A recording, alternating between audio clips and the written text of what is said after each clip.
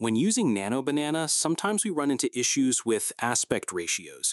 For example, you might upload two images and use a prompt like, make the girl in the picture hold the cup from image 2, aspect ratio 16 to 9, but the output isn't 16 to 9. According to Google's official guide, the generated image will follow the aspect ratio of the last uploaded image. So I tried uploading a 16 to 9 image last, and it worked perfectly. Then I tried 9 by 16 and that worked too.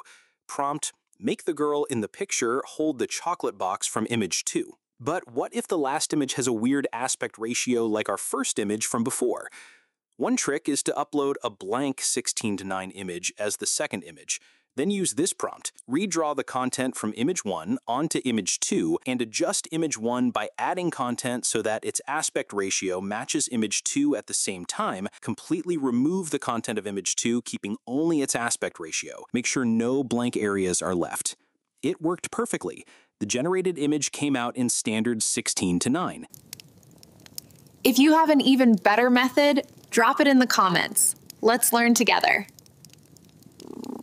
If you ever get stuck with an image generation that is not what you want or what you imagined, simply open a new chat and you will be able to get a new different result in which the error might not occur and you can get your desired result. Now, as you can see, those watermarks here and the quality of the image can be decreased by the AI. They can be annoying.